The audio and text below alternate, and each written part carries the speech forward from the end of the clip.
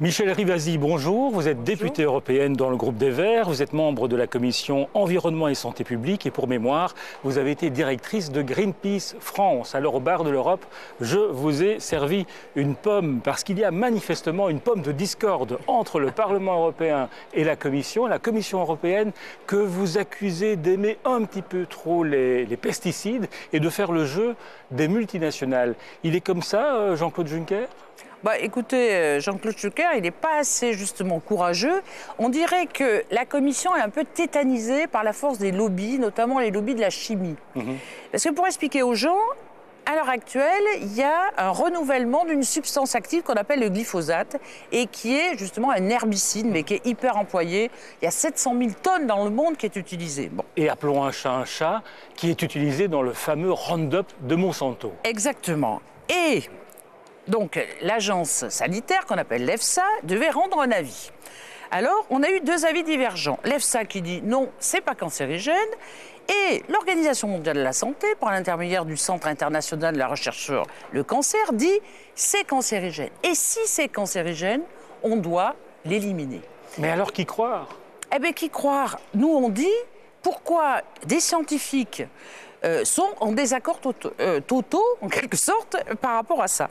On s'aperçoit que l'EFSA a reposé sa conclusion sur trois études qui sont confidentielles. C'est-à-dire qu'ils ne veulent pas nous les fournir. Alors que l'OMS, c'est sur des milliers d'études qui sont publiques. Vous l'aimez pas, hein, l'Agence de sécurité alimentaire au niveau de l'Europe non, ce n'est pas que je l'aime ou je l'aime pas, c'est que, un, ils sont bourrés d'experts qui ont des conflits d'intérêts.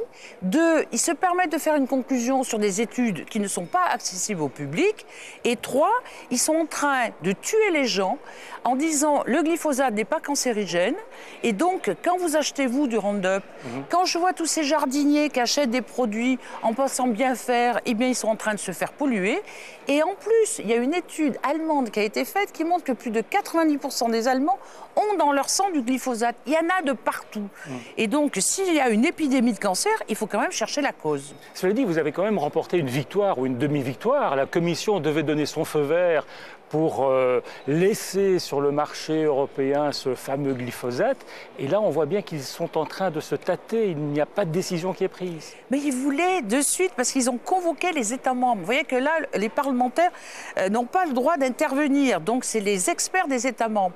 On a fait un rapport de force incroyable et les États membres, comme les experts ne se sont, n'ont pas eu la majorité qualifiée, ça a été reporté. Et nous, on va faire une objection au Parlement pour dire écoutez le Parlement. Le Parlement, si vous voulez, il est démocratiquement élu et il porte la parole des citoyens européens.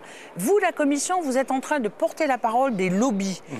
Vous êtes en train de défendre l'emploi contre la sécurité sanitaire de notre population. Ah. Donc on a gagné une petite victoire.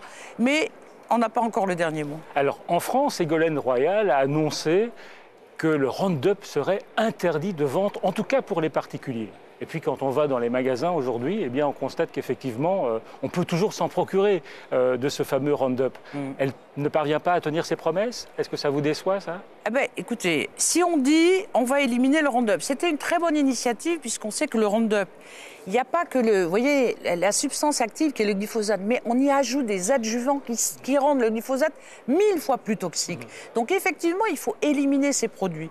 Et là, on vient de voir par une enquête de France 2 qu'il y en a euh, partout. Donc ça veut dire que ça n'a pas été éliminé. Alors moi, je lance un message à tous euh, les téléspectateurs de dire n'achetez plus ces produits mm-hmm. qui sont des produits de mort. Parce qu'à la fois, ils vous tuent peut-être les herbes, mais à, moyen et long terme, ils peuvent vous tuer parce qu'on peut le trouver dans l'eau après, on peut en trouver dans l'air, etc.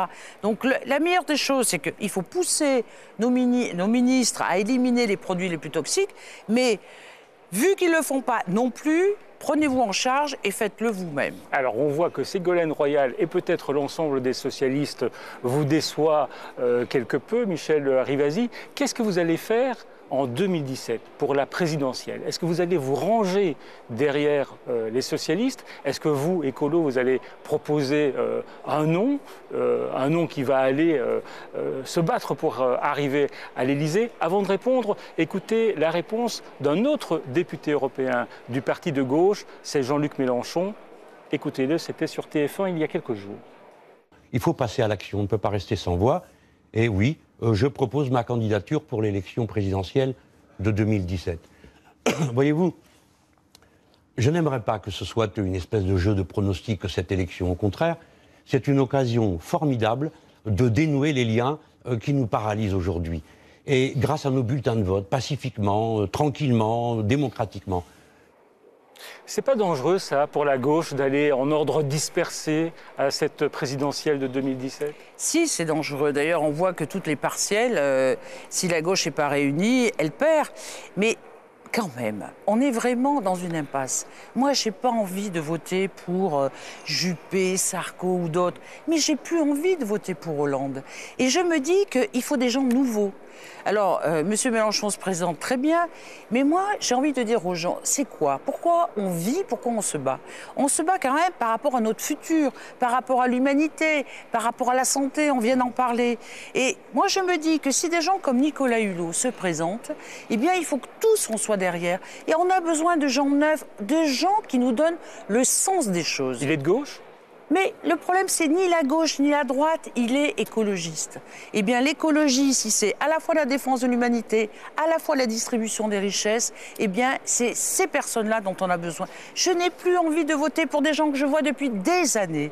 Il faut des gens nouveaux et il faut une mobilisation de la société civile pour dire Hein, euh, vous n'avez pas fait vos preuves, on a besoin de quelqu'un qui nous porte et qui, implique les gens, si vous voulez, dans la responsabilisation qu'on a, on a tous par rapport à notre futur. Donc il n'y aura pas de candidat écolo à la présidentielle. Il n'y aura plus Eva Joly, José Bové, comme c'est arrivé euh, précédemment. Bah, Écoutez, si Nicolas Hulot veut se présenter, c'est un candidat écologiste qui peut rassembler bien au-delà de la famille écologiste.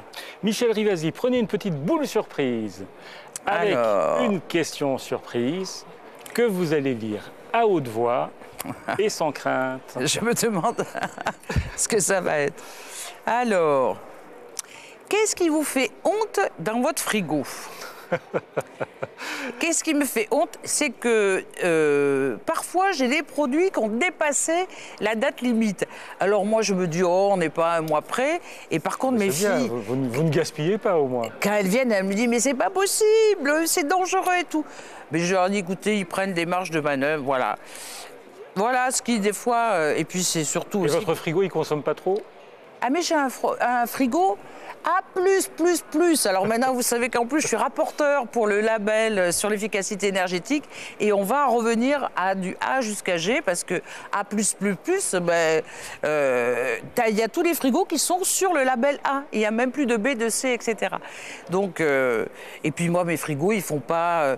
c'est pas des frigos américains, c'est des frigos euh, voyez, qu'ils consomment le moins possible. Michel Rivasi, merci d'être venu au bar de l'Europe. On va croquer la pomme. On va croquer la pomme, c'est tout un symbole. Et c'est les femmes qui croquent la pomme.